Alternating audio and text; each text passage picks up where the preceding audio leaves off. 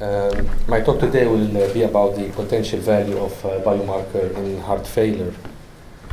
So uh, the chronology of the presentation uh, will be as follows. The first part, I will give uh, a general definition of biomarker, and uh, I will um, describe the characteristic of the ideal biomarker. And in the second part, I will explain the relation of biomarker to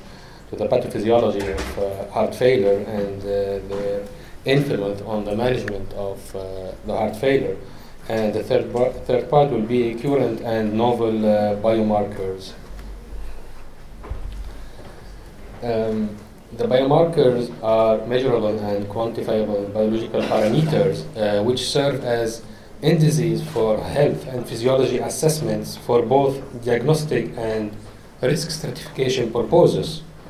Uh, biomarkers uh, include a variety of um, product uh, uh, such as small uh, uh, biochemical substances and uh, to the molecular and macromolecule uh, entities as well as microparticles. Just to give you brief ideas about the microparticles, so microparticles are small membrane vesicles that are released from different cell types, uh, such as platelets, endothelial cells, and, and others. And microparticles circulate freely in the bloodstream, and uh, they could contain certain membrane receptors as well as other proteins and nucleic acids, which are inherent in the parental cells. Um, microparticle formation is very complex and um involve uh, a uh, complex uh, cascade signal, signal, sig- signalization. And actually it's well accepted today that microparticle formation occurs via two primarily pathways which are cell activation and apoptosis. So uh, both uh, pathway uh, lead to the uh, disruption of the cytoskeleton and the blebbing of the plasma membrane and uh, uh, consequently the formation of uh, microparticles. So, uh, what is an ideal biomarker? Uh, what are the characteristics actually of an ideal biomarker? Um, there is uh, mm, general uh, or there is uh, some criteria that have uh, been outlined for defining a good biomarkers. And based on this criteria uh, an ideal biomarker should be uh, available and easy to measure and uh, should uh, have a defined released kinetic and most importantly, it uh, should uh, answer a specific question in heart failure, like the prediction, diagnosis, severity, and prognosis of the disease. And uh, an ideal biomarker should be high sensitive and very specific and should be truly validated before its uh, clinical uh, use. And of course, it should be uh, cost effective. Uh, heart failure is uh, end stage of uh, numerous uh, cardiac uh, disease and uh, is characterized by the inability of the of the heart to to meet the the metabolic and the demand of, of the body.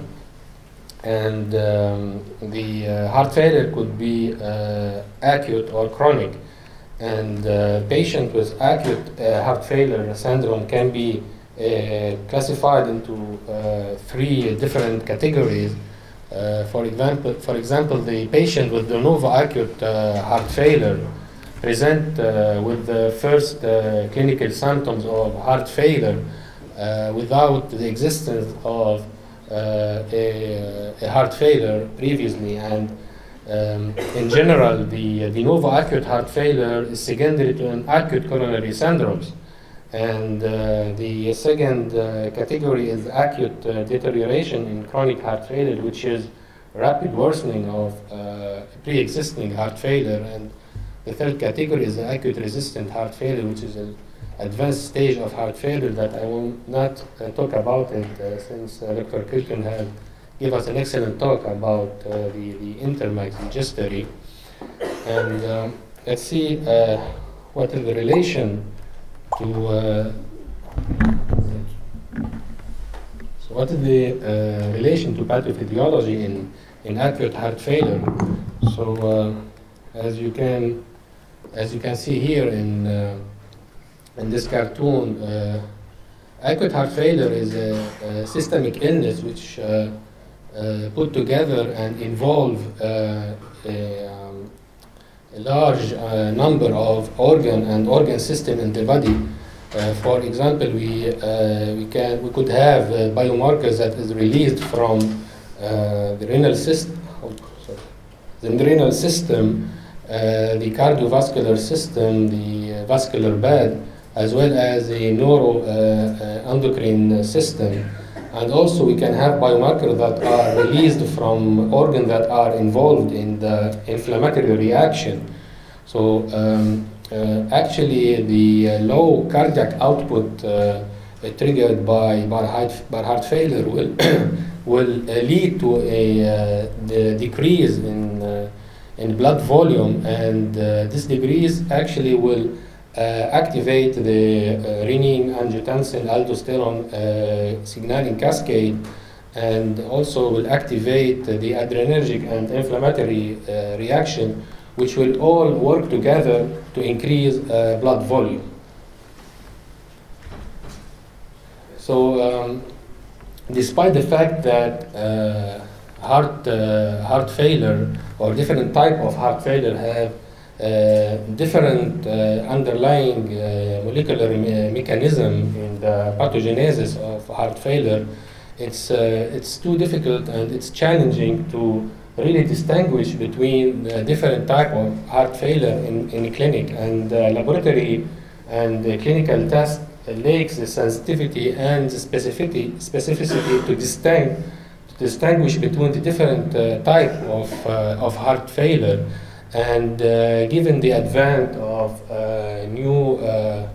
um, guided uh, therapy and, and the need to improve the clinical outcome and uh, and uh, to improve the clinical management of, of heart failure, it is of utmost importance to, to really make the, the, the, the difference or to distinguish between the different uh, type of uh, heart failure. And this actually could be done uh, by the use of uh, uh, biomarkers uh, which uh, can uh, actually um, have a potential uh, value in distinguishing between the different type of heart failure. For example, uh, to the occurrence of a de novo heart failure uh, after uh, an ACS. Uh, similar to acute heart failure, uh, chronic heart failure as well is a uh, systemic uh, uh, or multi-systemic disease that uh, put together a, different organs and organ systems like the renal system, the myocardial factor, and the neuroendocrine activation. And uh, the combination of this uh, molecular uh, mechanism will allow for, for biomarkers to provide the kind of molecular fingerprint that will be complementary to the clinical assessment. Um, we, uh, we all know that um, the um, heart failure is uh, characterized or is associated with cardiac uh, remodeling uh, and ventricle remodeling, which will uh, affect the uh, function of, of, uh, of the ventricle and uh, the uh, capacity of the heart to, to eject uh, the blood. And uh, this cardiac remodeling is actually uh, med- mediated by the extracellular matrix turnover. And uh, specifically, uh, we can uh, measure uh, the serum marker of uh, some biomarkers that are related to, to collagen synthesis or collagen degradation. For example, we can mm, here we can use the the P3NP, which is a biomarker of collagen synthesis, and to measure the survival uh, the survival rate in, in a group of patients uh, affected by uh, heart failure. And uh, uh, the Kaplan-Meier curve show, showed clearly that it,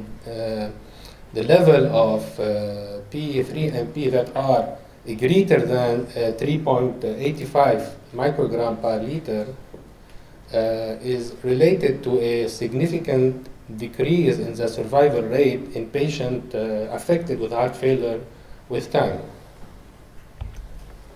And uh, another study ha uh, has looked to the level of endothelial microparticles uh, which are released by, uh, by the endothelium in, in heart failure and uh, authors found that in the group of patients affected by heart failure, the level of uh, endothelial microparticle is significantly increased compared to healthy subject. And this, agree, uh, this increase is related actually or it's proportional to the severity of the disease.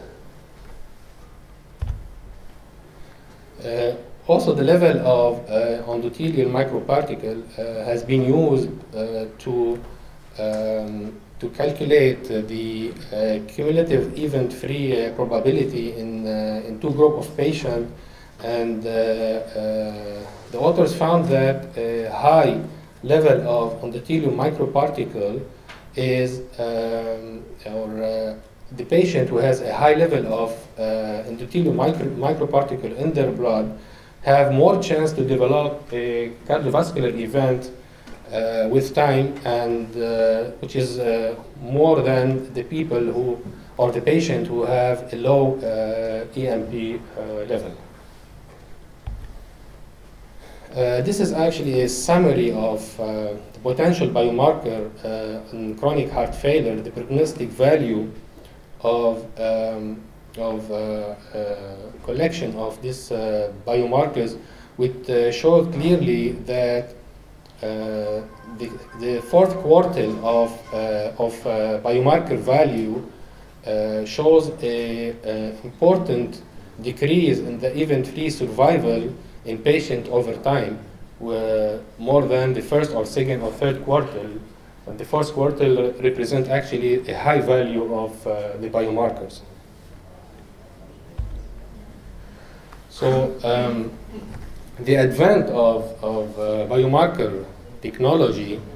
uh, open uh, the window for the development of strategy for biomarker guided therapy. And um, we know actually that uh, the pathophysiology uh, of heart failure uh, is triggered by molecular underlying molecular mechanism that could be now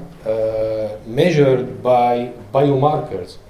And uh, this actually uh, this option will uh, significantly increase our understanding of the of the patho- pathophysiology of heart failure and will impact positively on the way or on the management of, of heart failure. And it will actually have also a positive impact on the the, the, the uh, length of hospitalization uh, in the, in the, uh, in the hospital. this is an example actually of uh,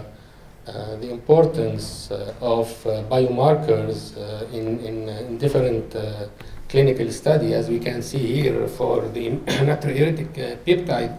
Uh, it has been successfully used in, uh, in clinical study to diagnose and to stratify the risk and uh, of, of uh, acute heart failure, as well as in a biomarker-guided treatment, as well as for others uh, important biomarkers such as the procalcitonin and GAL and, and others. And uh, this study shows uh, actually uh, the benefit of using the NT-pro uh, BNP guided therapy in two different uh, category of patient. The first category of patient uh, were subjected to a therapy that is guided by the NT-pro BNP uh, biomarker, whereas the second category of patient uh, were subjected to a, sorry, to a standard of care strategy and uh, the Kaplan-Meier uh, curve shows clearly that the patient were uh, enrolled in the uh, NP-Pro BNP guided therapy um, have a greater uh, event-free survival over time than the patient who were enrolled in a therapy guided by standard of care. Clinically, the echo, echocardiogram show that uh, the structural and uh, functional changes uh, in uh, this uh, two category of patient was quite different and we can see here that the left ventricle ejection fraction in the NT-pro-BNP patient was significantly higher than the group of patients who were subjected to a standard care and as well the the left ventricle end systolic and uh, and also end diastolic volume uh, index were uh, also significantly uh, ameliorated and improved in uh, the category of uh, patient enrolled in the NP Pro BNP strategy. So um, the biomarkers are extremely valuable at different stage of heart failure and they, the, the, the influence on management is still evolving uh, and novel biomarkers are very promising in the management of heart failure. Thank you very much.